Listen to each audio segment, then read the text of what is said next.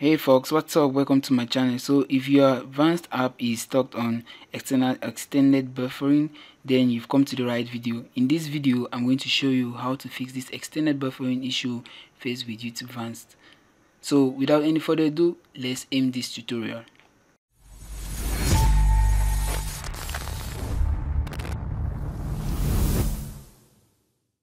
Alright so there are three main ways that you can use to fix this Revanced extended buffering issue. So the first of all the issue of the methods that you want to try that works in most cases in over 40 percent of cases is to clear your apps cache. So to do this you want to go to your system settings and go to the app management and go to app list and search for Revance, Revance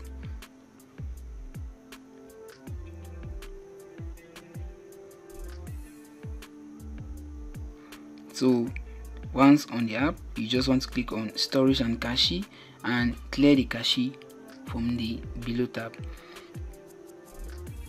And after clearing the cache this should probably fix the issue if the cache was the main issue that caused this buffering problem.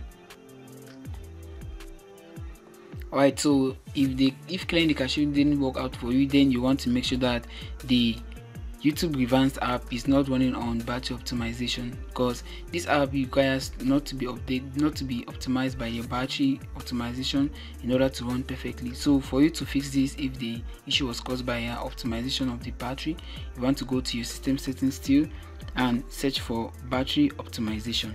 So you want to go to this tab and make sure that the service that enables the Revanced app to work properly isn't optimized by your battery optimization. So you can see the micro g services.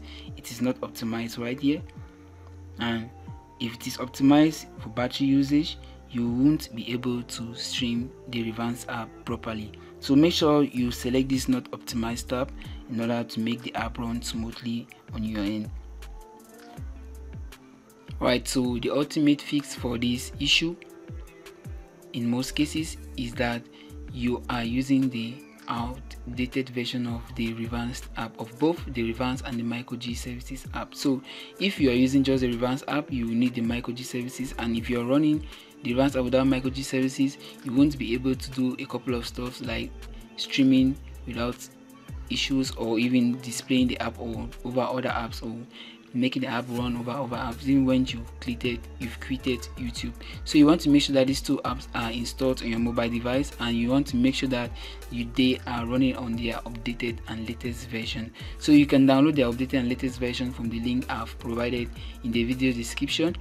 And also Revanced also provides a community management app that lets you update all of its services all of its apps that they have launched. So you can see there are a couple of apps that run with Revanced and if you are using a Revanced application you want to update it through this their update manager so through this Revanced manager. So once in this application you want to search for youtube Revanced and make sure that it is running the updated on its updated version and also make sure that micro g as well is running at its updated version. You can see the youtube Revanced extended. It is already running the latest version which is 19.25.39 and the micro g as well running its latest version 0.3.1 and so on and so forth. So guys you want to make sure that the Revanced application and the MicroG services app are both running their latest on their latest versions. So this is very important. And if all of them are updated you won't be able to stream the app properly so guys that's how you get to fix this extended buffering on the Revanced mobile application. So remember the first method is to make sure that you've cleared the cache.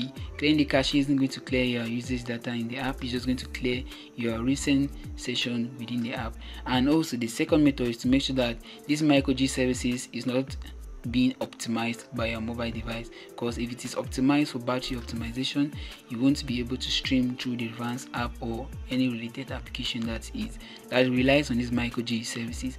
And the third and ultimate fix for this is to make sure that you are running the latest version of both applications that is the Revance YouTube extended and the micro G services. You can as well update them through this Revance manager that lets you update a couple of their apps in fact all of their apps that they've launched through their developing site. So guys we've come to the end of our video. If you found it really helpful don't forget to give it a thumbs up subscribe to this channel and tap the notification bell to never miss our upcoming update. So guys i'll catch you on the next one